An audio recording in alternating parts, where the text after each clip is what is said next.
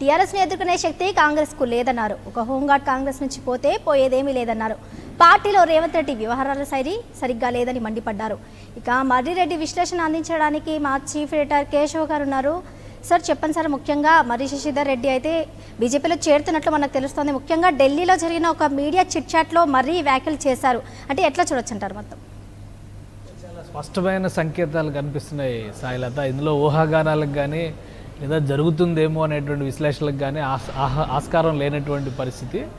చాలా క్లియర్గా మర్రి శశిధర్ రెడ్డి అనే నాయకుడు బీజేపీలో చేరబోతున్నాడు అనేటువంటి విషయాన్ని మనం కన్ఫర్మ్ చేసి చెప్పేయచ్చు. ఎందుకంటే నిన్న రాత్రి కేంద్ర హోంమంత్రి బీజేపీ కీలక నేత అయినటువంటి అమిత్ షాతో ఆయన భేటీ జరిగింది. దానికి సారథ్యం వహించింది కూడా తెలంగాణ బీజేపీ రాష్ట్ర అధ్యక్షుడు బండి సంజయ్ డీకే అరుణ ఇతర నాయకులందరూ కూడా ఈ భేటీలో ఉన్నారు. అలానే ఈటెల రాజేందర్ ముఖ్య పాత్ర పోషించారు. కాంగ్రెస్ పార్టీలో బలమైనటువంటి నాయకత్వంగా గుర్తింపు పొందినటువంటి ఒక లెగసీ అంటే ఒక చరిత్ర ఉన్నటువంటి కుటుంబం. మర్రి చెన్నారెడ్డి గారి ఫ్యామిలీ.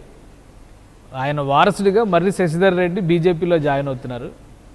ఆల్రెడీ మర్రి చెన్నారెడ్డి అంటే ఆయన మామగారి గురించి మనం మాట్లాడాల్సి వస్తుంది. కొండా వెంకట రంగారెడ్డి మొదటి తెలంగాణ రాష్ట్రం నుంచి తెలంగాణ ప్రాంతం నుంచి ఉప ముఖ్యమంత్రి పదవిని అలంకరించినటువంటి వ్యక్తి ఒకప్పుడు. ఆయన పేరు మీద రంగారెడ్డి జిల్లా ఏర్పడిందన్న విషయం మనకు తెలుసు. ఆయన వారసుడిగా ఉన్నటువంటి కొండా విశ్వేశ్వరరెడ్డి కూడా ఈ మధ్య కాలంలో బీజేపీలో చేరారు. అంటే హార్డ్ కోర్ కాంగ్రెస్ కుటుంబాలుగా పేరున్నటువంటి వీళ్ళందరూ కూడా ఇప్పుడు మర్రి శశిధర్ రెడ్డి చేరికతో మర్రి చెన్నారెడ్డి కొండారెడ్డికి సంబంధించి అంటే కొండ ఫ్యామిలీకి సంబంధించి కొండ విశ్వేశ్వర రెడ్డిని కూడా వాళ్ళ వారసత్వంలో కనుక మనం చూస్తే రంగారెడ్డి చెన్నారెడ్డి ద్వయం అనేది ప్రారంభంలో ఆంధ్రప్రదేశ్ ఆవిర్భావం జరిగినటువంటి సమయంలో కీలకమైనటువంటి ద్వయం ఇది. కాంగ్రెస్ రాజకీయాలను ఇన్ఫ్లుయెన్స్ చేసినటువంటి నాయకులు వాళ్ళు.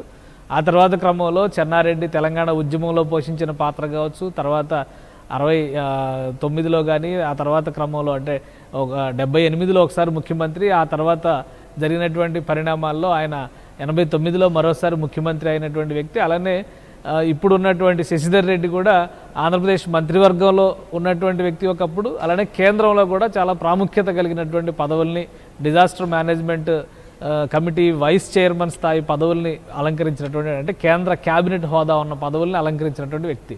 అలాంటి వ్యక్తి ఈరోజు కాంగ్రెస్ పార్టీ మీద తెలంగాణ కాంగ్రెస్ పార్టీ మీద క్యాన్సర్ సోకింది అనేటువంటి ఒక పదజాలాన్ని ఉపయోగించారంటే కాంగ్రెస్ పార్టీ పరిస్థితి ఏ విధంగా ఉంది తెలంగాణలో అనే విషయాన్ని మనం ఒకసారి విశ్లేషించాల్సి ఉంటుంది.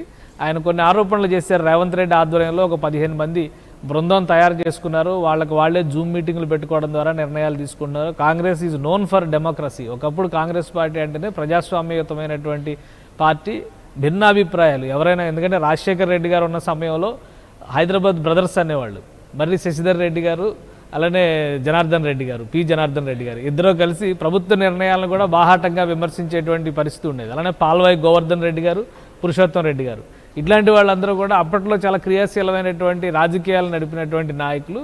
అలాంటిది ఇప్పుడు మరి శశిధర్ రెడ్డి కాంగ్రెస్ పార్టీ వీడడం అనేది కాంగ్రెస్ పార్టీ ముందు పునరాలోచన చేయాలి. కానీ విచిత్రంగా ఏంటంటే ఆయన నిర్ణయం తీసుకోకముందరే వీళ్ళు సస్పెన్షన్ వేటు వేసినటువంటి కనీసం ఎక్స్ప్లెనేషన్ కూడా అడగకుండా.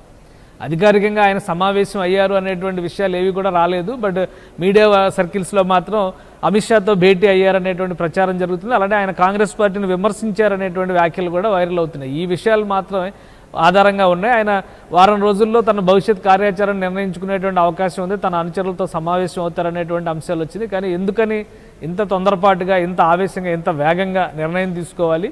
అది కూడా టీపీసీసీ డెసిషన్ తీసుకుని ఏఐసీసీకి రికమెండ్ చేసింది. ఆరేళ్ళ పాటు సస్పెన్షన్ చేస్తూ చాలా క్లియర్గా ఇందులో కాంగ్రెస్లో రాబోయే రోజుల్లో తెలంగాణ రాజకీయాలు మరింత వేడెక్కేటువంటి పరిస్థితి కనిపిస్తుంది. కాంగ్రెస్లో ఉన్నటువంటి హార్డ్ కోర్ కాంగ్రెస్ నాయకులు ఎందుకంటే ఆల్వేస్ కాంగ్రెస్ మ్యాన్ అనే ఒక ట్యాగ్ లైన్ పెట్టుకున్నటువంటి తన ట్విట్టర్ అకౌంట్లో కూడా మార్పులు చేసుకున్నటువంటి పరిస్థితిని మనం గమనించాం. కాబట్టి కాంగ్రెస్ పార్టీలో ఒక ముసలం మొదలైంది అని మనం అనుకోవచ్చు. తెలంగాణలో కాంగ్రెస్ పార్టీ కనుమరుగయ్యే దిశగా ఈ పరిణామాలన్నీ కనిపిస్తున్నాయా?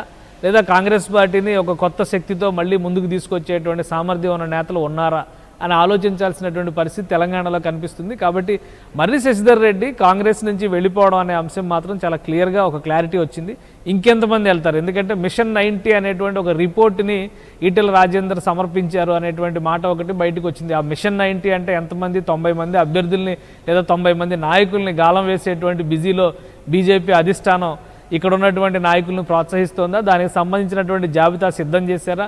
వాళ్ళకి ఇవ్వాల్సినటువంటి హామీలు లేదా వాళ్ళని ఏ విధంగా ఆకర్షించాలనేటువంటి సూత్రాలను ఇందులో ప్రతిపాదించరా అనే విషయాలు తెలియాలంటే కొద్ది రోజులు వేచి చూడాలి. కానీ ఆంధ్రప్రదేశ్కి తెలంగాణకి ఉన్న ఆ, వ్య- వ్య- తేడా ఏంటంటే ఒక సన్నని గీత ఏంటంటే తెలంగాణలో ఒక ఎమోషనల్ పాలిటిక్స్ నడుస్తున్నాయి. కాంగ్రెస్ పార్టీ ఒక బలమైన శక్తిగా రెండో ప్రత్యామ్నాయంగా ఉన్నటువంటి పరిస్థితి కనిపిస్తుంది. ఆంధ్రప్రదేశ్లో కాంగ్రెస్ పార్టీ పూర్తిగా కనుమరుగైపోయింది.